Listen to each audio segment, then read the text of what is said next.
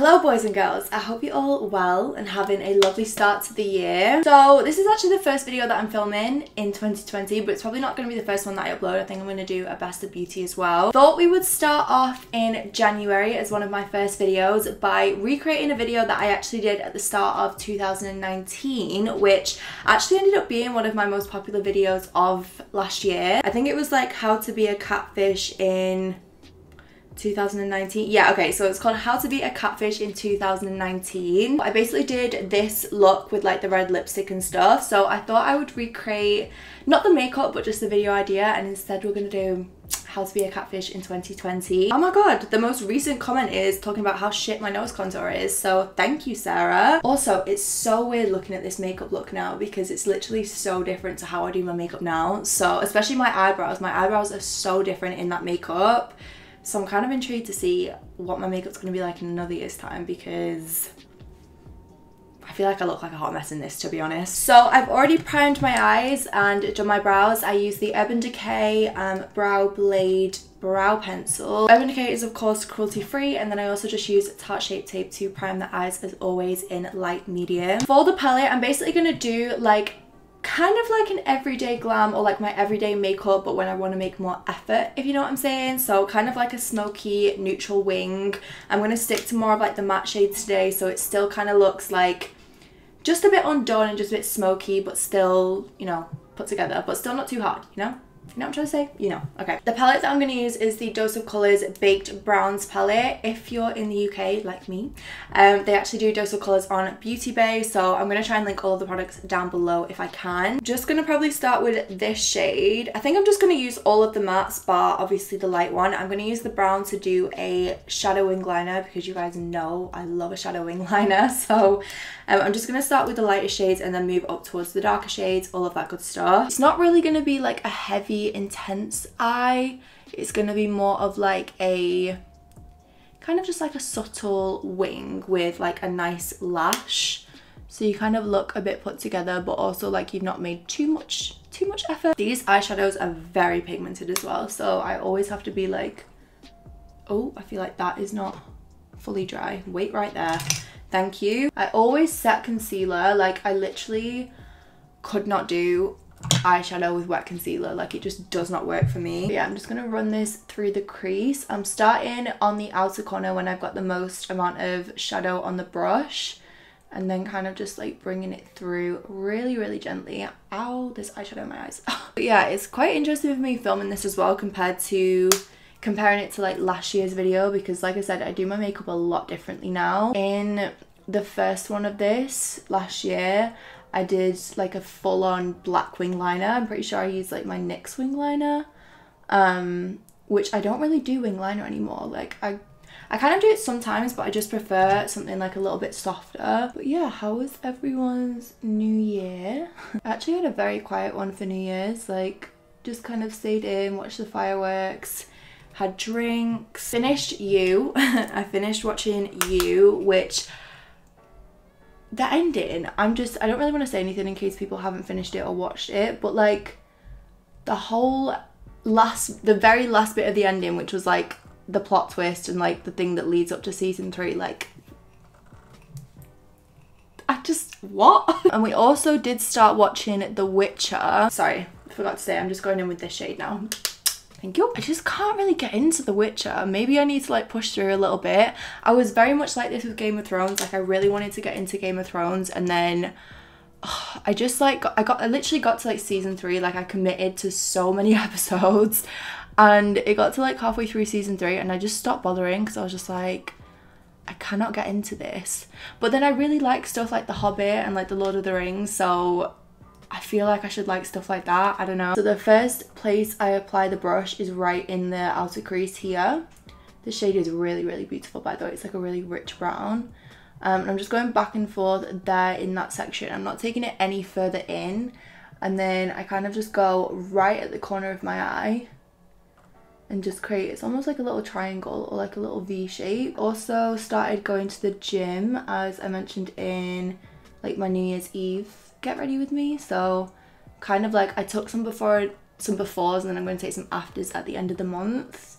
Um, I've been twice so far and it's currently the 3rd of 3rd of June, 3rd of Jan and I've been twice. So I went yesterday and then I also went this morning and just did a little bit extra. So just been like filming that and then I'm also gonna include like what I'm eating, what I'm doing on days where I'm like having more of a rest day, like that type of thing. Okay, and then we're gonna start the liner. So the brush that I use for this is the Anastasia number seven brush, um, which is basically a really, really thin, you want a really thin liner brush for the outer corner. I always take up a fair amount on the brush because you want the pigmentation. And then I'm just gonna take my finger my thumb and I basically just run them either side just to make sure the brush is like super skinny and there's no like excess product on the outside. That's going to give you like a really sharp line and then you just want to press pretty much where we've done the shape with the shadow. Okay, and then you just want to connect down. So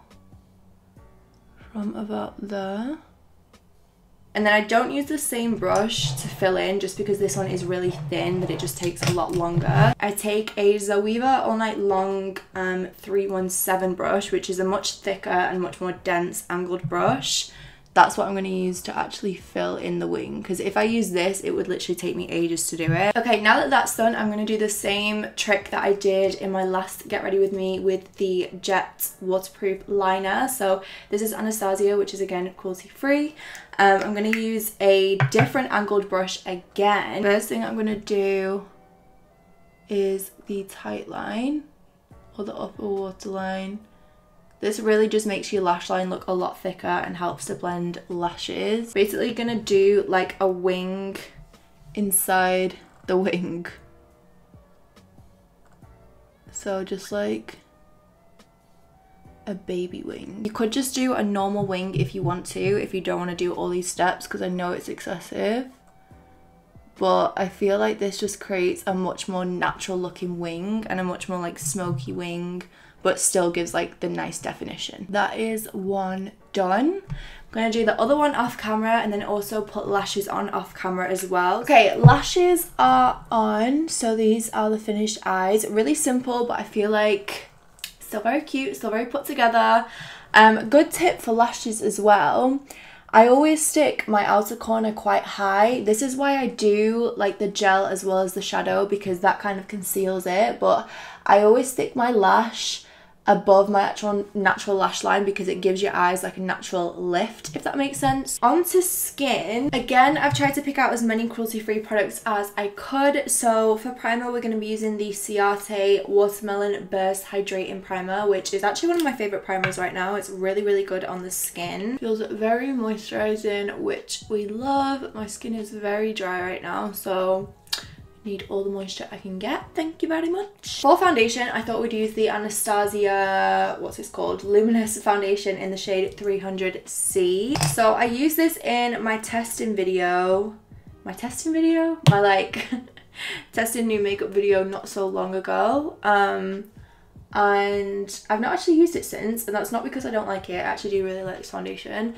I'm just currently trying to use up ones that I know I've had for a while and that have been opened for a while that I know are going to expire. Quite thick for a luminous foundation as well which is nice. For cream bronzer I'm going to try out the KKW contour stick which I'm pretty sure this is expired because I've had it so long now but it is what it is. We're just going to do it anyway. This is the shade medium as well, in case anyone's wondering. I actually really like that. I don't know why I've not used that more. I always like to go underneath really gently with a beauty blender as well. This hasn't got any product on. Okay, one thing I actually want to try more of this year is cream blush because every single time I see someone else use it, it looks so beautiful and I just never think to do it. So I've got two here. I've got the Charlotte Tilbury Glowgasm Beauty Light Wand High Blush in the shade Peachgasm and then also the iconic Cheeky Coral, which this is quite a new product. I think I'm gonna just like pop these on the back of my hand and then use like the bottom of my sponge to kind of blend them into the skin. I'm actually gonna try a stippling brush instead because I feel like that might work better. Oh, it's actually very sheer. Okay, I might try some of the Iconic on top because that is actually a lot more sheer than I expected it to be. They're actually both quite sheer. They're both quite sheer. I feel like you can kind of tell. That Shape Tape, my fave concealer of all time, is cruelty free. So great news. Just going in with my sponge.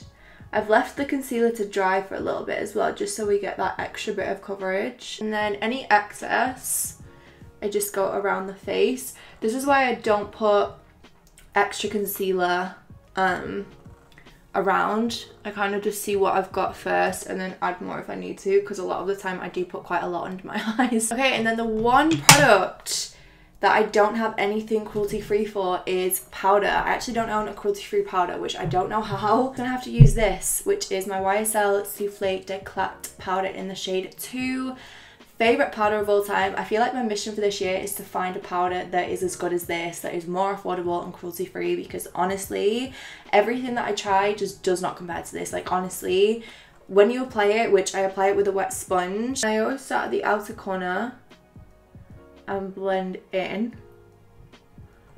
Take it down to my smile lines. Don't really let it sit for too long, like I don't bake or anything like that because I have quite dry skin as it is. And you can kind of see just how smooth that makes the skin look, like literally so smooth. Okay, finishing off lower lash line, I'm just going to go back in with the same palette. So I'm just going to use kind of like the more neutral lighter shade first and then a tiny bit of the darker shade as well.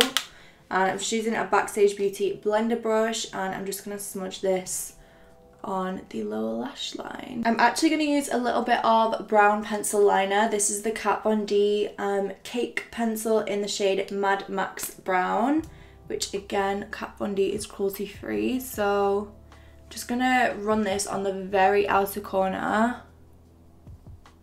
just to add a little bit of like smokiness there. Okay, for powder bronzer, we're to use a little bit of Fenty Beauty in the shade Shady Biz. This is the Sun Stalk'r bronzer. I don't really go quite in around the forehead and just let the brush like blend it into the foundation. Okay, nose contour is actually one of the things that has stayed the same for me. So I still use the same brush, which is the Makeup Forever 144. So I'm just going to take some of the bronzer and again I pinch the brush with this because you want the contour to be nice and precise. So I basically go up and down each side on the bridge and I connect it to the brow bone. I think that's really, really important. And then I actually stop when I get to the very tip of my nose and I don't really contour that in terms of the sides but I do always do underneath because I feel like that gives the illusion of a button nose which I personally don't have so I do like to give that effect. For highlighter I've picked out two different ones so we've got the Dose of Colours, um, the Dose of Colour, Dose of Colours, Dose of Colours. this is the Desi X Katy Fuego highlighter which I always worry it's going to be too dark for my skin. I've also got the Artist Couture Illuminati Diamond Glow Powder, which is very intense, but why not? I'm going to take a little bit on my highlighting brush from the lid and just go on the top. Okay, and then I'm going to go over that blush because I feel like that's just disappeared. So I've picked out Becca Flower Child, which is actually an old favourite of mine. I've not used it in so long, so going to pop that on the apples of the cheeks is very pigmented so just with a light hand I always do blush after highlighter as well because it kind of just helps to blend the highlighter and the bronzer together a little bit. So for lips, I'm going to use the Charlotte Tilbury Lip Cheat in the shade Pillow Talk, which is kind of like a pinky nude. And then I'm going to go in the center with a liquid lipstick. So I think I'm going to use Kylie matte liquid lipstick in the shade Naked and just create like a little bit of an ombre to make the lips look nice and plump. And then I am going to go over with a Kiko Hydra Gloss in the shade 18, which is literally my favorite gloss at the minute. And again, I believe Kiko is cruelty free, so amazing. I'm actually going to switch out and use a little bit of the Huda Beauty lip contour in the shade Bombshell because the Charlotte Tilbury pencil, the, the the what? the Charlotte Tilbury pencil which is a bit too dry because I think it's a little bit old. So I'm going to use this and then also a bit of Kim KW from Charlotte Tilbury as well and the gloss on top. so this is pretty much the finished look. You just want to do setting spray as well. Urban Decay setting spray as always, which I'm going to do now. Um, but yeah, this is pretty much everything. I really hope you guys like this makeup very excited about this new year, I have to say. So let me know what videos you want coming up. I'm gonna get going anyway because I'm actually off out for dinner. So if you got any questions or anything, let me know in the comments. Everything will be linked down below in the description in terms of products. And yeah, thank you for watching. I love you guys and I'll see you in the next one.